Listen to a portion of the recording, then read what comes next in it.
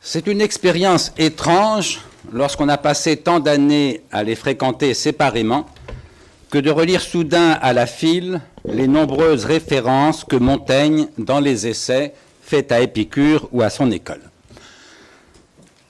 J'avais gardé en tête la périodisation qu'on doit à Strowski et à Villet, moins schématique qu'on ne le dit ordinairement. Hein. il est de bon ton aujourd'hui de la critiquer, mais souvent pour la critiquer, il faut la schématiser d'abord. Mais c'est vrai que Strowski et Villet nous ont habitués à penser qu'il y avait trois périodes dans la, vie et l'œuvre de Montaigne. Une première période stoïcienne, à peu près stoïcienne. La crise sceptique, l'apologie de Raymond Sebon, et puis une troisième période où Montaigne, se rapprochant davantage de lui-même, deviendrait par là même plus épicurien bien sûr sans être ni un stoïcien, ni un sceptique, ni un épicurien orthodoxe, en aucun de ces trois moments.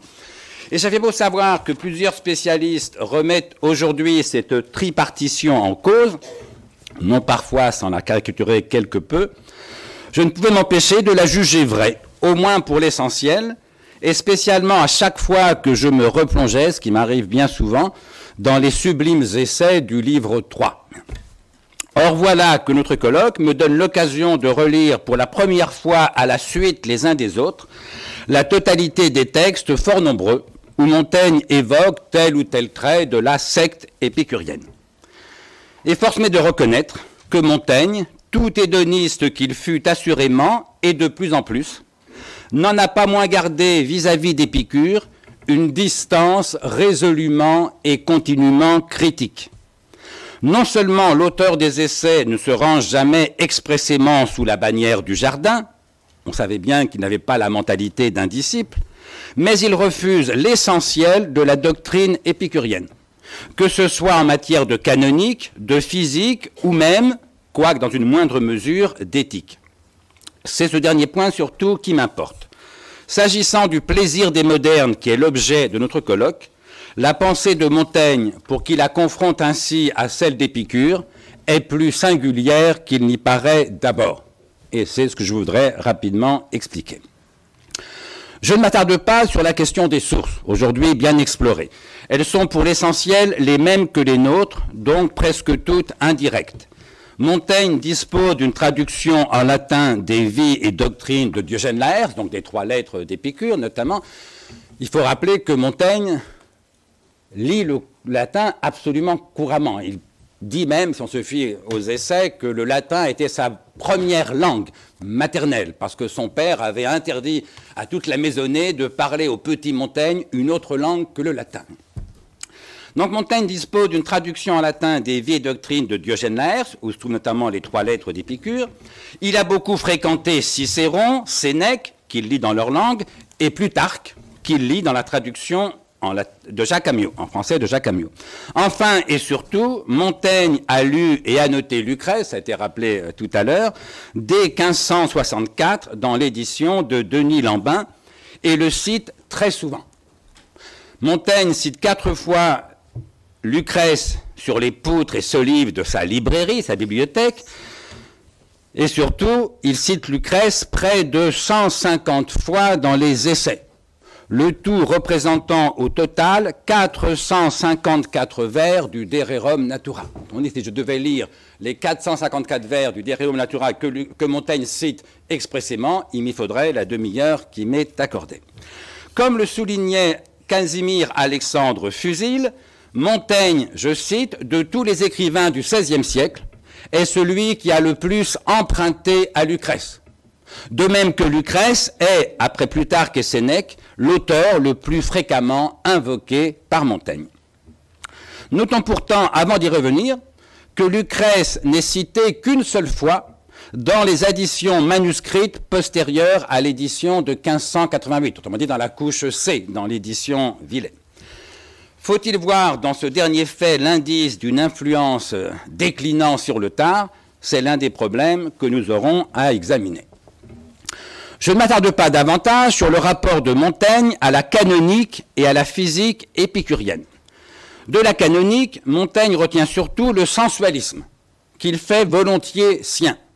Mais c'est pour retourner aussitôt et vigoureusement le sensualisme d'Épicure, qu'il approuve sans en être dupe, contre son dogmatisme, qu'il récuse.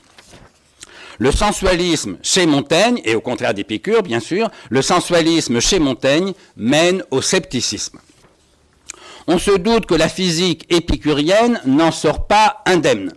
Montaigne refuse résolument le dogmatisme d'Épicure et ne voit dès lors dans sa physique qu'une métaphysique parmi d'autres possibles, aussi incertaines et irréfutables qu'elles le sont toutes. D'ailleurs, Montaigne, qui prête volontiers aux autres sa propre liberté d'esprit, n'arrive pas à croire qu'Épicure ait vraiment cru aux atomes. Pas plus qu'il n'arrive à croire que Platon ait vraiment cru aux idées. Euh, je suis convaincu qu'il a tort dans les deux cas, mais ça dit quelque chose de sa lecture très très libre, euh, très distanciée en quelque chose et très généreuse en même temps euh, qu'il a des anciens. Venons-en alors à l'essentiel, aux yeux de Montaigne, qui est l'éthique. C'est où l'on s'attend à la plus grande proximité entre nos deux, entre nos deux auteurs et où l'on s'étonne le plus de constater qu'elle n'est pas si grande. L'hédonisme dans les essais est pourtant bien clairement affirmé.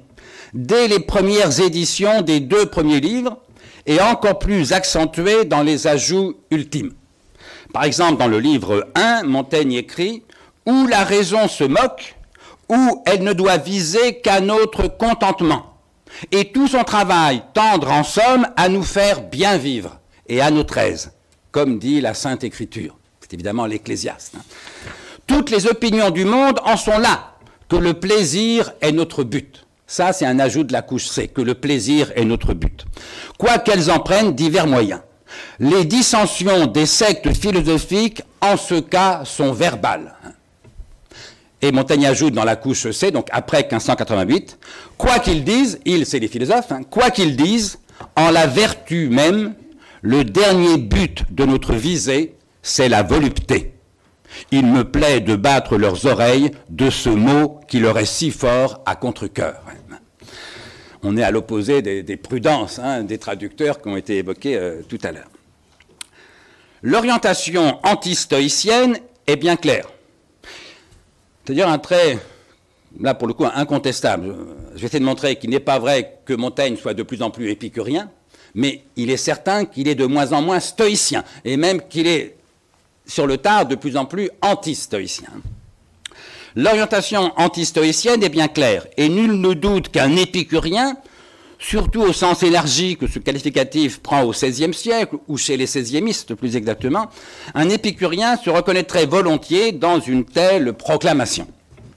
Mais enfin, Épicure n'y est pas cité, ni Lucrèce, c'est l'Ecclésiaste, la Sainte Écriture, qui sert ici de caution à Montaigne et non la lettre à Ménécée ou le De Rerum Natura. Est-ce que c'est une marque de prudence chez Montaigne? Cela me semble peu probable. Tant Montaigne se plaît à citer Épicure et Lucrèce ailleurs, et sur des thèmes autrement redoutables. La corporéité et mortalité de l'âme, la pluralité des mondes, l'indifférence des dieux. Là, c'était autrement hérétique, si j'ose dire, et courageux. Et il l'assume tranquillement.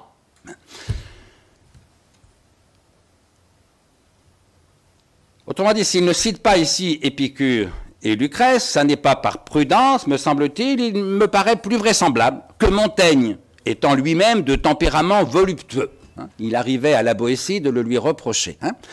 Montaigne, étant lui-même de tempérament voluptueux, a vu dans l'hédonisme une espèce d'évidence que la sensation suffit à imposer.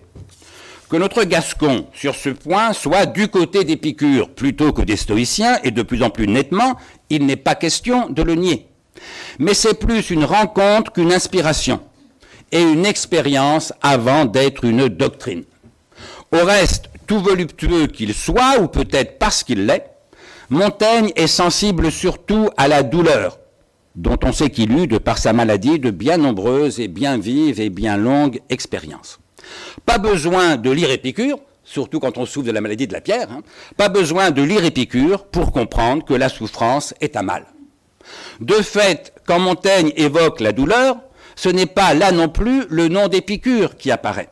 Je cite, Que diriez-vous encore de la douleur? qu'Aristippe, Hieronymus et la plupart des sages ont estimé le dernier mal, le mal souverain. Les stoïciens, par exemple Posidonius, ont bien tort, pour Montaigne, de refuser de la juger telle, de juger que la douleur est un mal. Même l'indifférentisme de Pyrrhon atteint ici sa limite. Le pourceau même qu'il donne comme modèle lui donne tort. Alors c'est une référence à un passage de, Diogène Laërce dans le livre consacré à, à Pyrrhon. Pyrrhon était dans un bateau, il y a une tempête, tout le monde s'affole. Et Pyrrhon, pour rassurer ces braves gens, dit Regardez, il y a un pourceau là dans le bateau. Lui, il est parfaitement tranquille, parfaitement serein. Prenez donc modèle sur lui. Montaigne montre que ça relativise quand même beaucoup l'avantage de la raison. Hein, pour se rassurer quand un bateau est sur le bord de couler, on prend l'exemple du pourceau. Sauf que l'argument du pourceau, pertinent sinon efficace contre l'angoisse, n'est nullement pertinent contre la douleur. Et Montaigne écrit Le pourceau de Pyrrhon est ici de notre écho, de notre côté. Il est bien sans effroi à la mort, mais si on le bat, il crie et se tourmente. Le pourceau n'a que faire de la mort, prenons modèle sur lui, mais il n'a pas du tout que faire de la souffrance.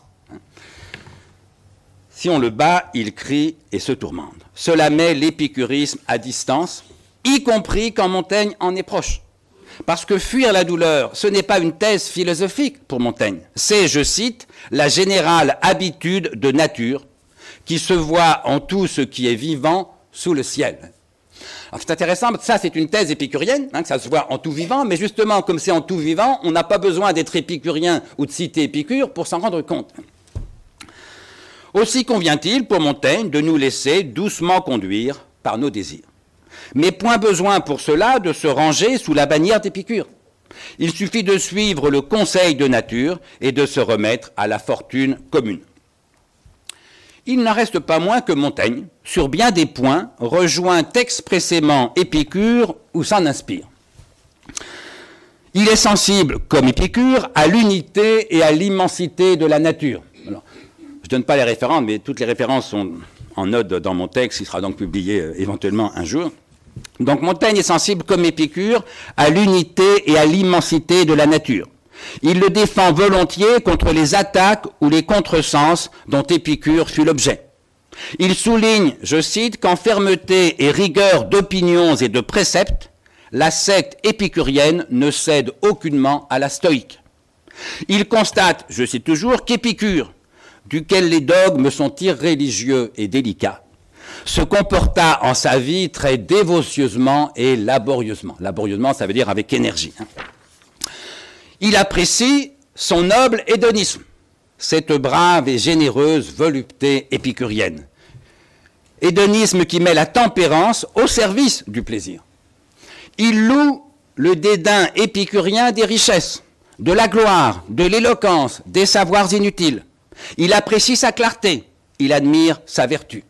Il approuve l'importance qu'il attache à la loi civile, sans laquelle nous serions capables, je cite Montaigne citant euh, Épicure, es un épicurien, sans laquelle nous sommes capables de nous manger les uns les autres, comme dit Épicure. Hein, C'est dans la, citation de Montaigne. Il lui donne raison contre Platon, s'agissant de la mort et des dieux. Hein, sur la mort et les dieux, Platon a tort, Épicure a raison. Il pense, comme Lucrèce, qu'il traduit presque mot à mot, que, je cite Montaigne, la mort est moins à craindre que rien s'il y a quelque chose de moins. Traduction quasi littérale de Lucrèce.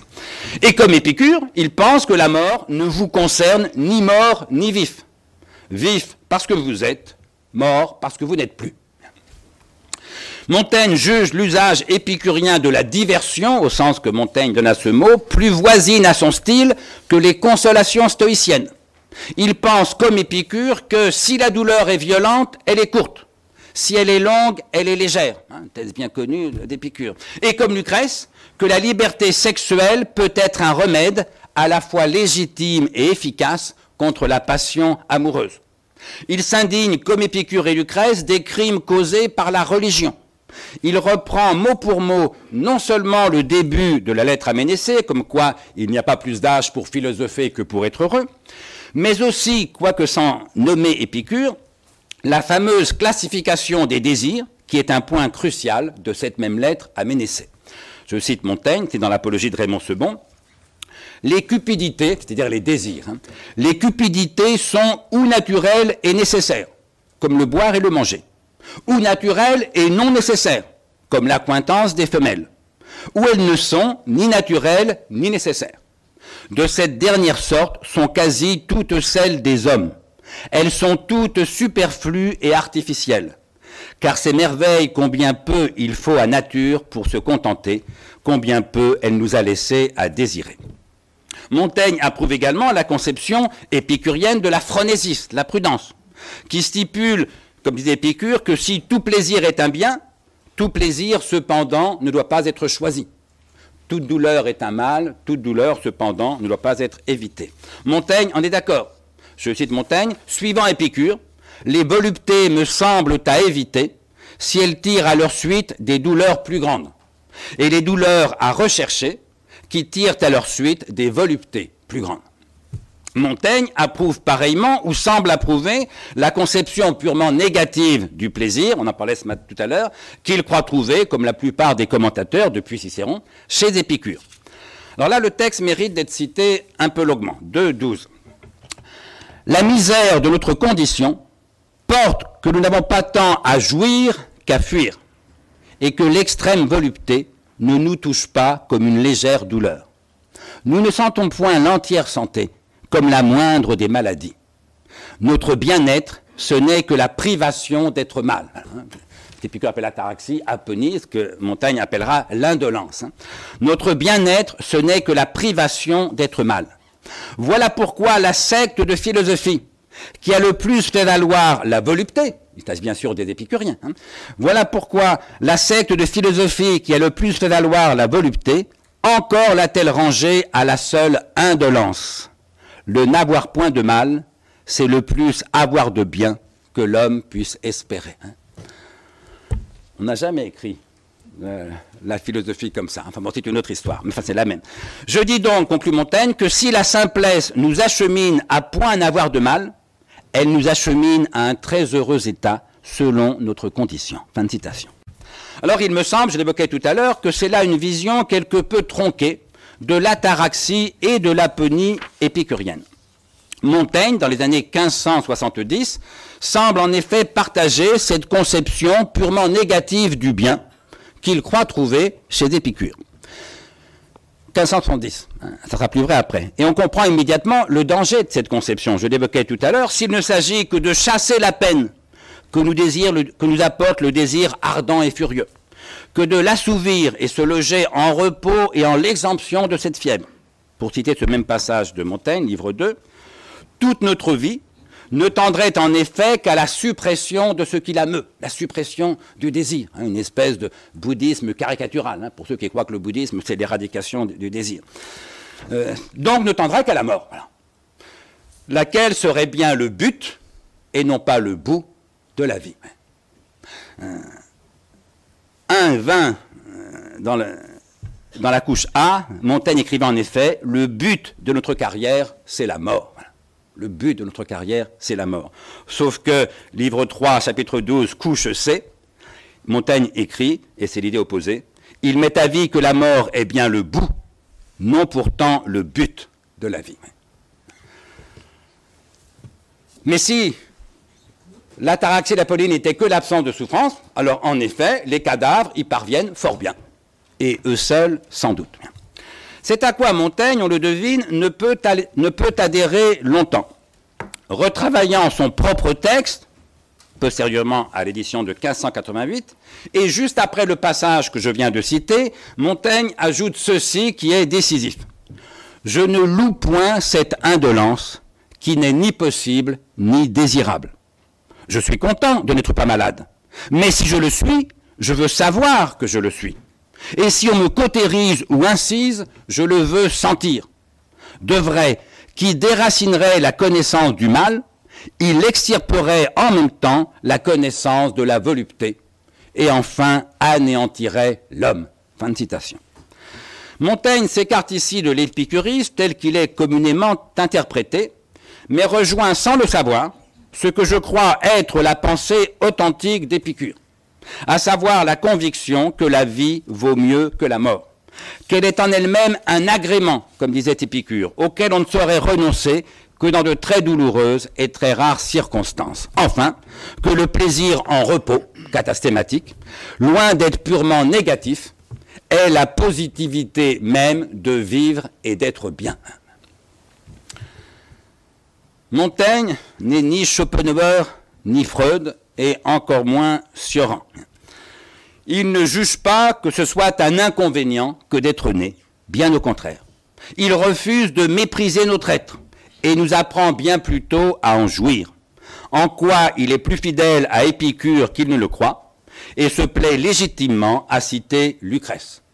Il ne s'agit pas seulement de ne pas souffrir, mais bien de jouir d'une sensation ou d'un sentiment agréable. Fruatur jucundo sensu, écrit Lucrèce. Certes dépourvu d'inquiétude et de crainte, mais qui ne saurait se réduire à cette absence. Souvenons-nous de la très élégante digression. Vous savez, on a retrouvé il y a une vingtaine d'années l'exemplaire qui appartenait à Montaigne du De Rerum Natura euh, de Lucrèce. Ça a été publié par Michael Scrich avec toutes les annotations, des centaines d'annotations, tantôt en français, tantôt en latin. Montaigne écrit le latin comme il écrit le français, et là, en l'occurrence, c'est en latin. Il évoque la per élégance digressio, la digression très élégante, qui ouvre le livre 2 du De Rerum Natura. Je cite Lucrèce. Il suffit d'entre amis, couchés dans l'herbe tendre, au bord d'une rivière, à l'ombre d'un grand arbre, de jouir à peu de frais de nos corps apaisés. Surtout lorsque le temps sourit, quand la saison est gaie de mille fleurs, les prairies verdoyantes. Jouir à peu de frais de nos corps apaisés. C'est tout autre chose et bien plus et bien mieux qu'une simple absence de souffrance. C'est une jouissance. Autrement dit, le plaisir en repos est un plaisir en acte, au sens qu'Aristote donnera ce mot. Et d'ailleurs, euh, on ne dit jamais assez à quel point Épicure doit à Aristote. C'est cette positivité d'exister et d'être bien, donc de jouir la vie, comme dit Montaigne, jouir la vie, que Montaigne, mieux encore que Lucrèce, a su exprimer. L'indolence ne lui suffit pas, ni ne lui paraît désirable. C'est qu'il a mieux à faire. Vivre à propos, comme il dit, et pour cela cultiver la vie. Ce sont des expressions qu'on trouve dans l'un des plus beaux essais de Montaigne, qui est aussi le dernier, 3.13, dont on me pardonnera de ne citer qu'un très court extrait. Pour moi, donc, j'aime la vie, et la cultive telle qu'il a plu à Dieu nous l'octroyer. C'est une absolue perfection, et comme divine, de savoir jouir loyalement de son être, jouir loyalement de son être. Ces belles pages, on pourrait en citer bien d'autres, expliquent en partie le sentiment qui était le mien, que Montaigne devenait en vieillissant de plus en plus épicurien. Et la surprise que ce fut de constater, en collationnant les textes où il parle expressément d'Épicure, rien dans les essais ne l'atteste. C'est même le contraire statistiquement qu'il faut bien constater. Épicure et les épicuriens sont moins présents dans le livre 3 que dans les deux premiers. Et Lucrèce, si souvent cité avant 1588, ne le sera plus, je le disais, qu'une seule fois après cette date. Il n'est pas sûr que ça traduise un éloignement progressif on peut penser, plusieurs commentateurs pensent que c'est au contraire parce que Montaigne s'est tellement intériorisé euh, l'épicurisme qu'il n'a même plus besoin de le citer. Et c'est peut-être partiellement vrai. Mais il y a aussi autre chose.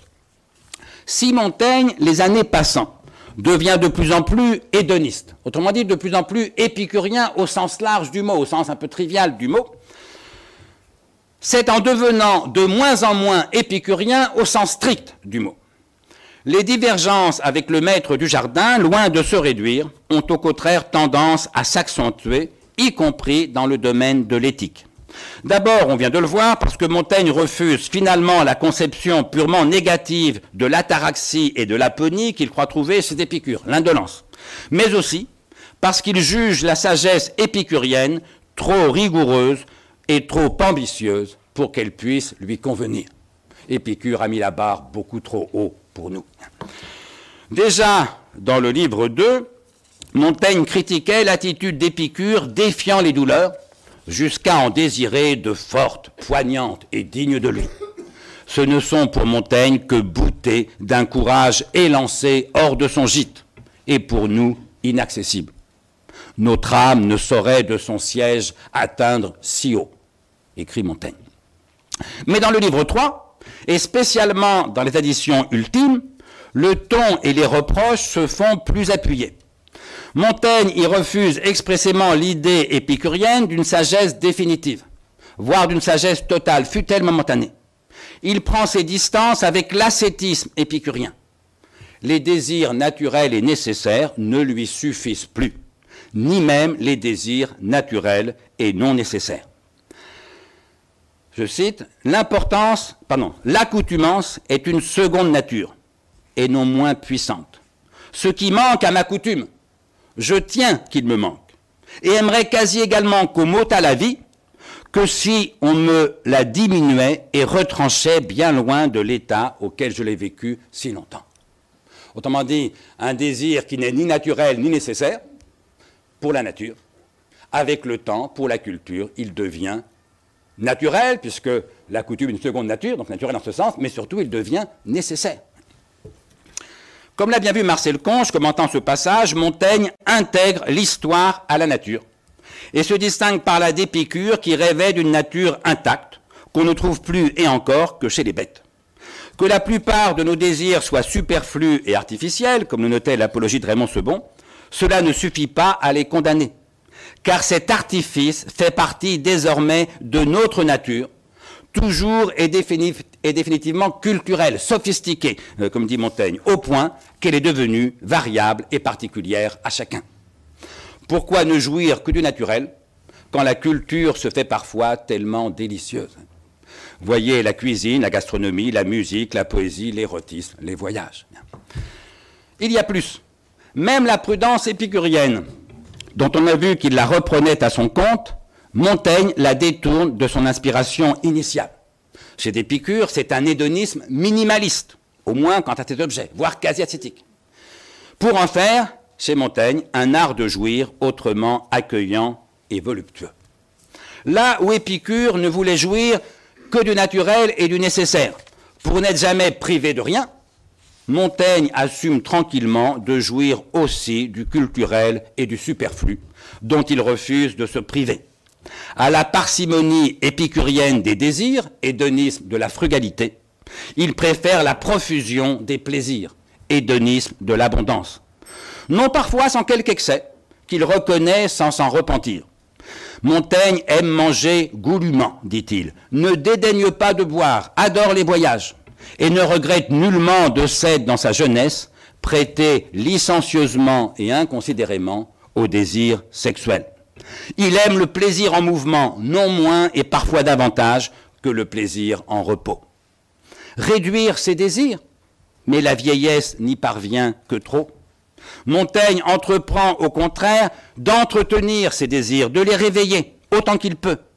Les préceptes épicuriens, dont Montaigne juge d'ailleurs qu'ils ont un peu de rigueur et d'inhumanité, ne valent que pour un corps sain, donc jeune, la vieillesse a un peu besoin d'être traitée plus tendrement, écrit Montaigne. Notre hédoniste, vieillissant pratique ici comme un épicurisme inversé, qui tend moins à réduire les désirs, tempérance, qu'à les revivifier, au moins par l'imagination. C'est sa façon de résister à la mélancolie du grand âge, ou de ce qu'il vit comme tel. Hein. Il meurt à 59 ans. Je supprime ma citation pour pas être trop long, mais là les textes sont très nombreux, très, parlants. Quand on vieillit, le plaisir est plus rare et donc il faut plutôt réveiller, ressusciter euh, les désirs. Bref, conclut Montaigne dans ce passage que je ne cite pas, je me défends de la tempérance comme j'ai fait autrefois de la volupté. Et quand il est jeune, il résiste un peu à la trop grande force des désirs. Quand il est vieux, il résiste à la trop grande force, à la trop grande facilité, malheureusement, de la tempérance. C'était rester fidèle à l'hédonisme, comme on le voit, plus qu'à l'épicurisme. Et même s'éloigner de l'épicurisme par fidélité à l'hédonisme. L'hédonisme bien tempéré de Montaigne se fait face à la vieillesse de moins en moins tempérant. C'est qu'il n'a plus besoin, hélas, de l'être. Hédonisme de sauvegarde et de dernier recours. Au reste, Montaigne n'est pas convaincu qu'Épicure lui-même ait toujours vécu conformément à sa propre doctrine. je cite toutes sortes, je saute toutes sortes de citations, le même Épicure qui faisait profession de mépriser la gloire, cache ta vie, n'en est pas moins soucieux, constate Montaigne, de sa réputation, de sa gloire, y compris post-mortem. Citant l'émouvant fragment d'une lettre à Hermarc ou à Idoménée, selon les sources, Montaigne estime les quasi ultima verba d'Épicure grandes et dignes d'un tel philosophe, tout en jugeant qu'elles ont pourtant, je cite, quelques marques de la recommandation, de la gloire de son nom et de cette humeur qu'il avait décriée par ses préceptes. Montaigne ne s'en offusque pas, mais s'en amuse. C'est d'ailleurs une constante chez Montaigne. Il aime les philosophes sans adhérer absolument à aucune philosophie. Il admire les sages sans croire tout à fait à leur sagesse. Mille femmelettes ont vécu au village une vie plus égale, plus douce et plus constante que Cicéron. Quant à Épicure lui-même, dont on a vu que Montaigne trouvait sa sagesse quelque peu outrancière et inaccessible, euh, pardon, quant à Épicure lui-même, on a vu que Montaigne trouvait sa sagesse quelque peu outrancière et inaccessible. D'ailleurs, Montaigne ne croit guère au souverain bien, et cite de préférence chez Lucrèce, et alors sans la moindre critique, les passages les plus sombres, ceux où le poète évoque la misère de notre condition, bien plus que l'efficacité prétendue de la sagesse épicurienne. C'était le cas déjà sur les travées de sa librairie, où il fit inscrire en latin ces trois vers du Dererum. Ô misérables esprits des hommes, ô cœurs aveugles, dans quelles ténèbres et dans quel danger s'écoule ce peu d'instant qu'est la vie. Et c'est très net aussi euh, dans, les essais, par exemple au chapitre 53 du livre 1, mais je vous épargne euh, les citations. Bref, Montaigne joue Lucrèce contre Épicure. Alors, Lucrèce, comme poète tragique, hein. Lucrèce, comme vous le savez, est un épicurien parfaitement orthodoxe quant au concept, mais avec une sensibilité de poète parfaitement tragique, d'où la tension qui fait le charme de Lucrèce. C'était jouer Lucrèce contre, contre Épicure, donc aussi en Lucrèce même, le poète tragique contre le disciple enthousiaste. Reste un dernier point à considérer sur lequel je voudrais conclure. Le rapport entre l'hédonisme et la morale, ou si l'on préfère, entre le plaisir et la vertu. Que les deux aillent ordinairement ensemble, Montaigne en est d'accord avec Épicure. Mais lui n'écrirait pas, me semble-t-il, qu'il faut choisir les vertus à cause du plaisir qu'elles nous procurent. Autrement, non. Et là encore, j'ai pas plusieurs citations d'Épicure, mais pour Épicure, la morale est tout entière soumise à l'hédonisme. Une vertu sans plaisir, ce n'est même plus une vertu. La morale de Montaigne est autrement rigoureuse, pour ne pas dire rigoriste. Exemple que donne Montaigne, euh, vous êtes attaqué dans une forêt par des brigands euh, qui vous arrachent la promesse de leur donner une très grosse somme d'argent, 10 000 euros. Et puis vous laissent partir. Une fois que vous êtes rentré chez vous, est-ce que vous êtes tenu de respecter la promesse qui vous a été arrachée par la force, par la violence? Épicure répondrait bien sûr que non. Moi aussi, je pense que tout le monde ici répondrait que non. Montaigne, pas du tout. Montaigne juge qu'une telle attitude euh, ne serait que des règles en philosophie et fausses et molles. Ce que j'ai promis sous la contrainte, je dois le respecter quand je suis libre. Autrement, écrit Montaigne, de degré en degré, nous viendrons à renverser tout le droit qu'un tiers prend de nos promesses et serments position quasi qu'ancienne, comme on le voit, sauf qu'elle relève moins d'une loi morale prétendument inconditionnelle, à laquelle Montaigne ne croit aucunement, que de ce qu'on appellerait aujourd'hui une éthique de la vertu. Au reste, le plaisir que poursuivent toutes nos actions ne fait pourtant pour celle-ci qu'un guide fort incertain. Par quel chemin atteindre le plaisir? Avec quelle part de réussite ou d'échec, de hasard ou de chance? La morale pour la conscience est un guide plus sûr que le succès donc aussi que le plaisir qu'il peut ou non nous apporter. Autrement dit, ce que j'ai montré là, c'est que Montaigne est, épique, est hédoniste en matière d'éthique, mais pas du tout en matière de morale. C'est pourquoi je plaide, comme tout de grandeur et limite de l'hédonisme. On, on va y revenir. La morale pour la conscience est un guide plus sûr que le succès, donc aussi que le plaisir qu'il peut ou non nous apporter. Montaigne écrit, en cette incertitude et perplexité que nous apporte l'impuissance de voir et de choisir ce qui est le plus avantageux, Il est plus sûr de se rejeter au parti où il y a le plus d'honnêteté et de justice. Et puisqu'on est en doute du plus court chemin, tenir toujours le droit. C'est soumettre la prudence à la morale, soumettre l'hédonisme à la vertu, quand Épicure ferait plutôt l'inverse. Cela met l'hédonisme à distance, ou plutôt, sans l'abolir, en réduit la portée proprement morale. Montaigne, de ce point de vue, reste plus proche des stoïciens, c'est le seul point de vue hein, où il est plus proche des stoïciens. Montaigne, de ce point de vue, reste plus proche des stoïciens que des épicuriens, et plus proche encore des cyniques que des stoïciens. La vertu, dit Antisthène, se contente de soi, sans discipline, sans parole, sans effet. C'est qu'elle relève de l'intention plus que de l'efficacité. L'estimation et le prix d'un homme consistent au cœur et en la volonté, non au plaisir qu'il poursuit ou obtient. Il suffit pour, s'en convaincre de considérer les trois plus excellents hommes, hein, c'est le titre d'un chapitre des essais, Homère, Alexandre et surtout Épaminondas, qui est le plus grand des trois. Pas du tout parce qu'il aurait joui davantage que les autres, mais évidemment parce qu'il est plus vertueux euh, que les autres. Alors cela réduit-il le champ de l'hédonisme montagnien? Oui, quant à son usage pratique ou moral. Pour Montaigne, le plaisir n'est ni le meilleur guide pour l'action, ni le meilleur critère pour l'estime ou l'admiration. Mais non, ça ne réduit pas la portée de l'hédonisme quant à sa portée théorique, bien au contraire.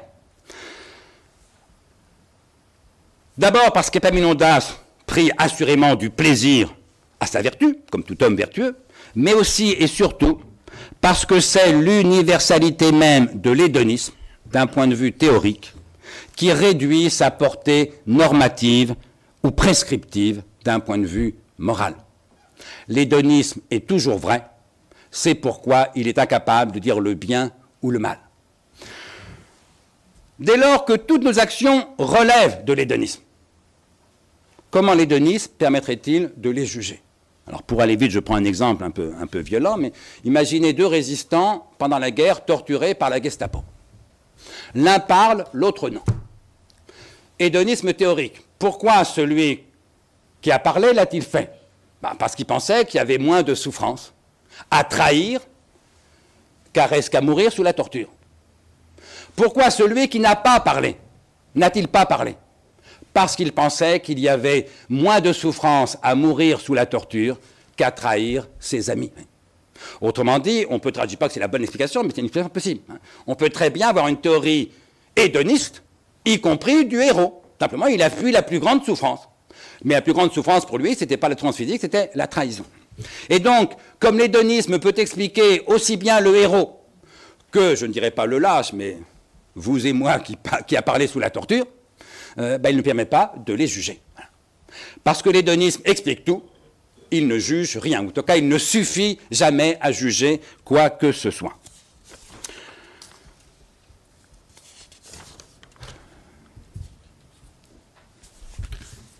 Alors, grandeur et limite de l'hédonisme, je n'ai pas le temps de rentrer dans les détails, mais euh, mon ami Michel Onfray, que j'aime bien, je suis peut-être le seul euh, ici parce qu'il est en gros détesté à, l'université, résume souvent l'hédonisme par une phrase de Chamfort, que j'aime beaucoup aussi. Chamfort écrit Jouis et fais jouir, sans faire de mal ni à toi ni à autrui, voilà, je crois, toute la morale. Eh bien, c'est faux. Ça ne dit pas toute la morale. Parce qu'on peut très bien envisager des actions agréables pour tout le monde qui sont immorales. Vous racontez un haut fait imaginaire. Vous avez escaladé le, Mont Blanc euh, tout, seul. Ça vous fait plaisir. Plaisir de la glorification. Ça peut faire plaisir à vos auditeurs, le plaisir de l'admiration. Mais c'est une faute morale.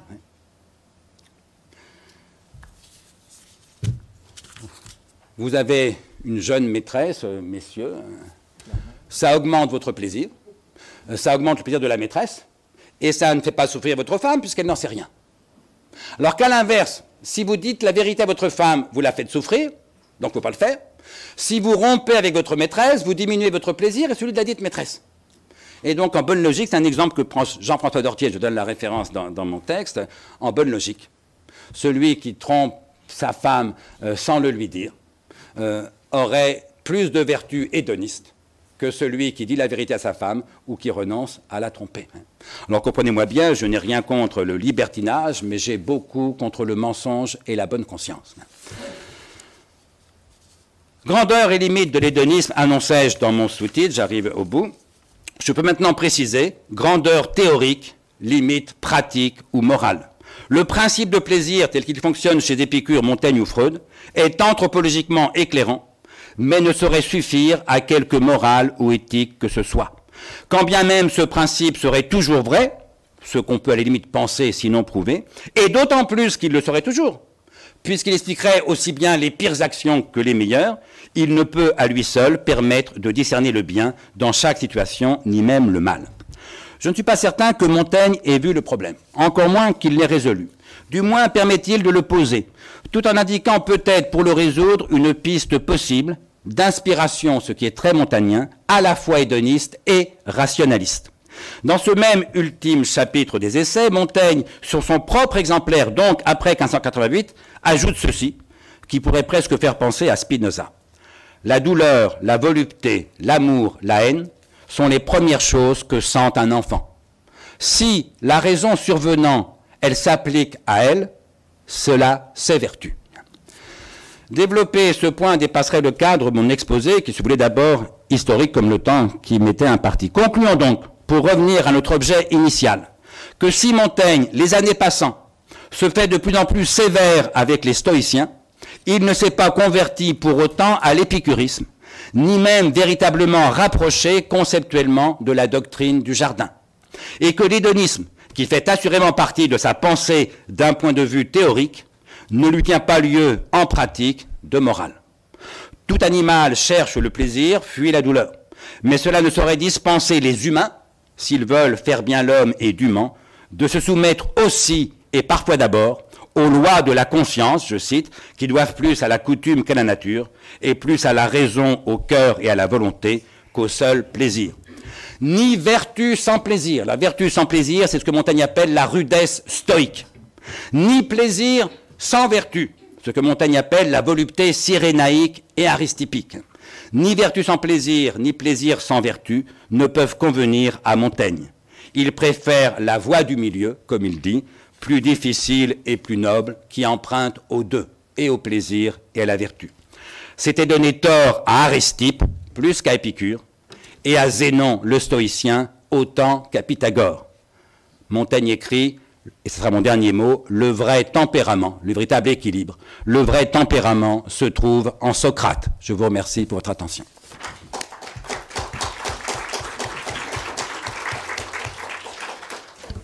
Il me semble que depuis le matin, j'ai entendu beaucoup une position binaire, plaisir, douleur. Or, ce qui m'intéresse, est-ce qu'il y a une différenciation qualitative par rapport à la question de plaisir et de jouissance euh, chez Épicure et Montaigne? Est-ce que ça peut influencer l'étude comparative que vous en faites? Alors l'aspect binaire est avéré, mais Épicure comme Montaigne vous dirait que cette binarité fait partie de la vie. Hein. C'est les deux pôles qui structurent la vie affective, évidemment. Alors, quant à la différence entre la jouissance, le plaisir, la, volupté, alors il faudrait prendre le texte grec pour Épicure, mais je ne crois pas qu'il y ait beaucoup de concepts euh, différents et donnés, quoi. C'est traduit par le plaisir, que Montaigne traduit volontiers par volupté, mais c'est la même chose. Et quant à Montaigne non plus, je n'ai pas souvenir de, de texte où il thématise la, différence entre le plaisir, la jouissance, la volupté.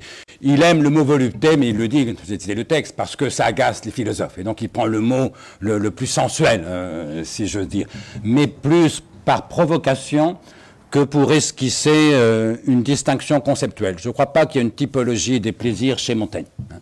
Euh, une question, j'aimerais savoir comment vous interprétez le, dans le jouir loyablement de son être, la loyauté, loyauté qui, est une notion assez moderne, justement, disons. C'est pas ni avec vertu, ni loyal à qui, disons. Comment vous voyez cet adverbe, le choix précis de cet adverbe c'est une question que je me suis posée euh, moi-même. Il y, a deux explications ou trois explications qui viennent. Loyauté vis-à-vis de soi-même. Hein, il ne faut pas mépriser notre être. C'est se trahir. Et, je pense que ça fait partie de la pensée de Montaigne. Loyauté vis-à-vis de Dieu. Hein, il, le cite dans, le même passage. Jouir de la vie que, Dieu nous a donnée. Enfin, il ne le dit pas comme ça, mais c'est l'idée. Et puis loyauté vis-à-vis de la nature. Vous avez toujours cette hésitation entre Montaigne, quand il dit la nature, est-ce que c'est Dieu, est-ce que c'est autre? Il n'est pas tout panthéiste, mais euh, on ne sait pas trop le statut, là encore, qu'il accorde à, cette nature-là. Mais je crois que c'est ça. Euh, jouir loyalement de son être, c'est rester fidèle et à soi-même, et à la nature, et à Dieu, du moins dans le discours explicite de, Montaigne. Euh, j'ai été eh, frappé par euh, euh, la première partie, tout d'abord, de votre communication, c'est-à-dire le fait que Montaigne démontre, explique, montre qu'une interprétation négative de, l'épicurisme, disons, hein, aboutit finalement par caricature à une représentation de la mort. Si euh, le plaisir est l'absence de douleur, est l'absence de trouble, l'absence de n'importe quoi, le mort est celui qui, jouit du parfait bonheur. Et, j'ai été frappé par cela hum, pour les effets, disons, euh, en aval de Montaigne. Hein. je pense surtout à Hobbes. Euh, parce que petite parenthèse, les Anglais, les anglophones ont tendance, dans le cas de Hobbes, surtout à exclure toute influence de Montaigne sur Hobbes. Il y a des propos énormes de Skinner, qui quand même n'est pas le moindre, qui dit il n'y a aucune influence du pyrrhonisme, du scepticisme et de Montaigne sur Hobbes, ce qui est vraiment, à mon avis, très étonnant. Parce que si on lit les Elements of Law, le, premier ouvrage de Hobbes, on trouve exactement ça. On trouve l'idée que si on entend euh, le, bonheur comme absence de trouble, absence de douleur, justement, euh, euh, le, fin de la vie, la fin, le but de la vie serait la mort. Et pour lui, c'est ridicule, ça. Et, je pense que euh, tous les passages de Montaigne que vous avez mis en, évidence ont eu une influence énorme sur Hobbes. Montaigne avait été traduit en, Angleterre par John Florio, hein, demi-italienne, demi-sicilienne, et cette traduction de John Florio avait eu un retentissement énorme dans la culture anglaise. Mais il me semble qu'il n'y a pas seulement euh, euh, je vais un peu au-delà du sujet Montaigne, si vous me permettez. Hobbes tire une conséquence de cela. Euh, donc, il y a la, fameuse métaphore de la vie comme une course, hein, et, la fin de la course est la mort.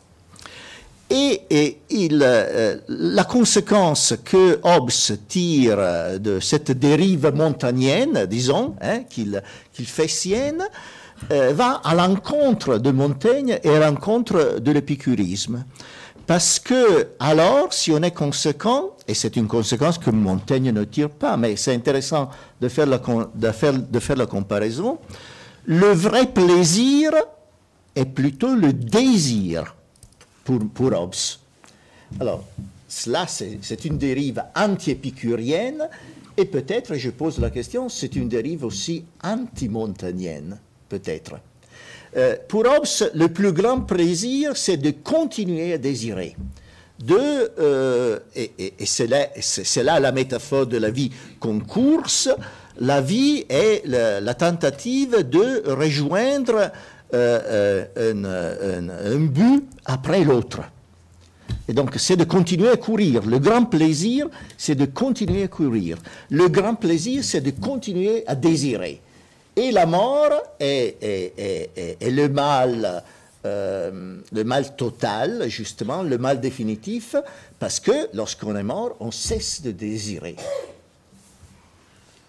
Bien, je vous mets sur ce dernier point. C'est vrai qu'Épicure est un philosophe du plaisir, et si possible en repos, alors que Hobbes est un philosophe du désir, et toujours euh, en mouvement. Je pense que Montaigne aurait une position médiane. Hein, il pense que le plaisir, c'est bien, que c'est même mieux que le désir, mais qu'on aurait bien tort de s'interdire de désirer. Et que même, comme je l'ai dit, quand on vieillit, il vaut mieux pour relancer la, machine, euh, susciter, réveiller un peu le désir. Donc l'opposition entre Épicure et Hobbes est totale. Euh, Montaigne aurait plutôt une position intermédiaire. Alors sur le reste, euh, attention, hein, quand j'ai dit que... j'ai coupé la moitié de mon texte par manque de temps et à l'oral, les guillemets n'apparaissent pas toujours. Quand je dis que si le plaisir était uniquement l'absence de douleur, au fond, la mort serait le meilleur résultat d'y parvenir. C'est une objection que je fais à l'interprétation de Montaigne. Ça n'est pas une objection que Montaigne se fait à, lui-même. Hein. Du moins, j'ai pas le souvenir que cette idée apparaisse chez Montaigne. Sauf que, en, 1570, il dit que la mort est le but de la vie, mhm. et qu'après 1588, il dit elle est le bout, mais pas le but. Et, donc, je ne suis pas sûr que la pensée de Montaigne soit explicitement celle que j'ai énoncée. Mais j'ai le sentiment que c'est pour répondre, pas forcément à une, objection qu'il aurait expressément formulée, mais à ce qu'il sent euh, du plus profond de son être. C'est que la vie vaut mieux que la mort, c'est ça qu'il ne cesse de nous dire. Or, cette idée, elle est épicurienne. Parce que vous savez que Épicure euh, cite quelque part, je crois que c'est la fin de la lettre à Ménécée, ce, ce poète qui dit que le mieux, au fond, ça serait de n'être pas né. Et si on est né, le mieux, c'est d'atteindre la mort, l'Hadès, le plus tôt possible. Et puis lui dit, ben écoute, si tu es convaincu de ça, tu n'as qu'à te suicider. Si tu parles sérieusement, mets donc fin à ta vie.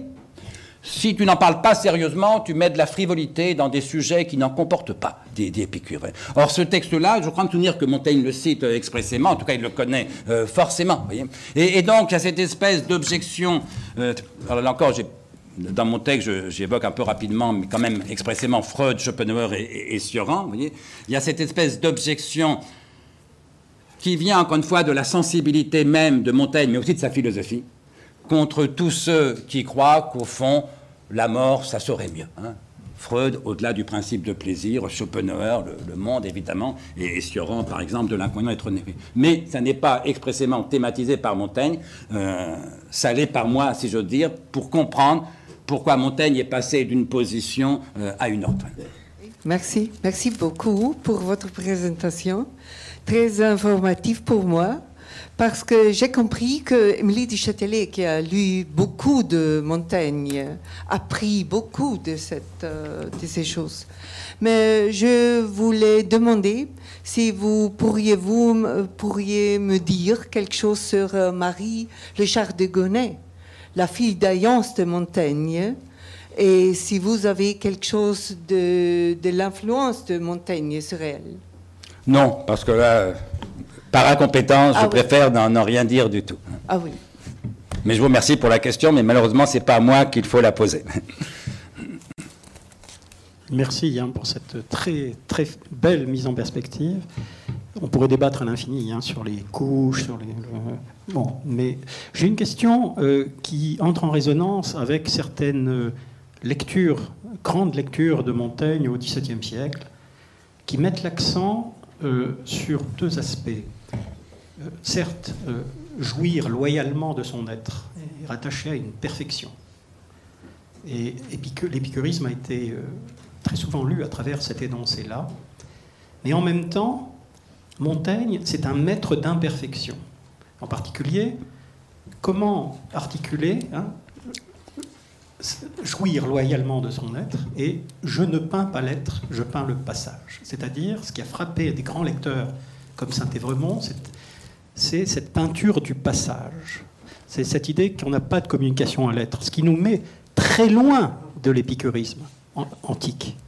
C'est-à-dire euh, l'idée que d'heure en heure, il y a une transformation. Et la forme de l'essai, hein, je, ne m'essaierai point, hein, si je m'étais trouvé, dit Montaigne, la forme même de l'essai, ça c'est une question euh, touchant euh, à ce qui m'intéresse au premier point, c'est-à-dire les, formes mêmes de la pensée morale et, l'invention de l'essai, est-ce que ça ne correspond pas à un type de subjectivité, de subjectivation euh, qui n'a rien à voir avec le sujet épicurien antique et qui du coup intègre à cette subjectivité qui est ce qu'on pourrait appeler un épicurisme du passage et un épicurisme de la vanité au sens de l'ecclésiaste. Hein. Et la concordance entre Montaigne, entre Épicure et l'Ecclésiaste, très souvent, on, avait fait une belle journée autour de la trace de l'Ecclésiaste.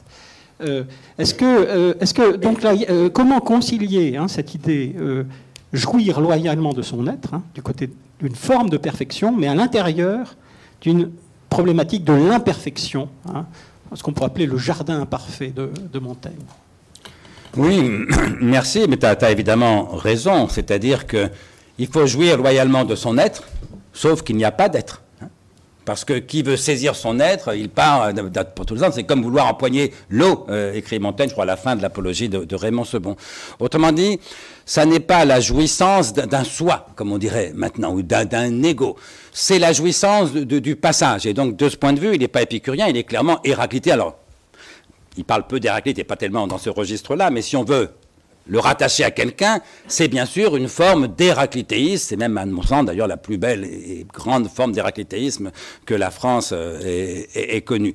Euh, alors pour Épicure, c'est un peu plus compliqué, mais ça nous sortirait un peu du, cadre de ce colloque parce que, en toute rigueur, il n'y a pas d'être non plus pour Épicure, ou plutôt les seuls êtres sont les atomes et le vide mais je ne suis pas un atome, je ne suis pas du vide, et donc je suis un agrégat, comme disent les textes bouddhistes. Et, donc le, sujet euh, épicurien n'est qu'une stabilité relative euh, entre deux néants pour ce qui le concerne, mais entre la continuation de, la nature. Et donc Montaigne n'est pas tellement loin forcément d'Épicure pour ça, mais c'est pas à lui euh, qu'il se rattache de ce point de vue, je suis d'accord, mais en revanche, c'est pour ça qu'il ne croit pas en la sagesse absolue d'Épicure.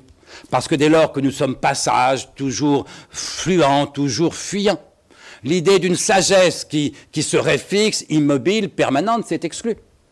D'ailleurs, vous savez ce qu'écrit Montaigne, hein, c'est chose tendre que la vie est aisée à troubler. C'est une récusation de l'ataraxie. Ataraxie en grec, ça veut dire absence de trouble. Bah oui, on peut en rêver euh, quand on est 20 ans. Moi, quand j'avais 20 ans, ça m'exaltait beaucoup, la taraxie. Sauf que ça ne marche pas. Pourquoi? Parce que c'est chose tendre que la vie est aisée à troubler. Tendre ici veut dire fragile, bien sûr. Hein.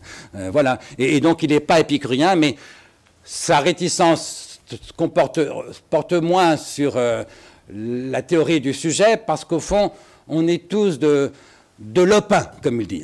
voilà, l'idée d'agrégat euh, est assez montagnenne, au fond, même si ce n'est pas Épicure qui la rattache. Non, ce qui l'oppose à Épicure, c'est l'idée que cet être composite et toujours changeant que nous sommes pourrait atteindre une sagesse immuable et stable. Ça, pour Épicure, c'est absolument exclu. Et donc, jouir loyalement de son aide, de sa perfection, tu as bien sûr raison, c'est accepter sa définitive et permanente et provisoire imperfection. Paolo Quintili. C'était juste, euh, euh, oui, en, spécialiste de, cette question-là, euh, au niveau du XVIIIe siècle, la maîtrise, Diderot, etc., je ne peux pas m'empêcher, en vous écoutant, de, vous faire une critique. C'est-à-dire que là, vous avez présenté plutôt à Montaigne à la Guy de Maupassant plutôt que dans, l'auteur du, XVIe siècle. C'est-à-dire, là, il me semble que ressortit l'image d'un Montaigne qui est, trop euh, euh, plongé dans une vision du plaisir en tant que plaisir de mouvement. Que ça que plaisir de mouvement. Je pense que là, il faudrait un peu plus nuancer cet aspect de la, euh, comment de l'art des plaisirs chez Montaigne, parce que D'abord, il y a une différenciation de plaisir. D'abord, commence à s'imposer la distinction entre plaisir et volupté, même dans le vocabulaire, dans le lexique de la traduction de Lucrèce, de Picure, etc. Parce que ce sont différents registres d'expérience de plaisir. Et chez Montaigne, on le trouve déjà, cet, aspect. Voilà, c'est une critique plutôt qu'une question. Oui, ben, je, vous, remercie de, la critique, sinon de la, question.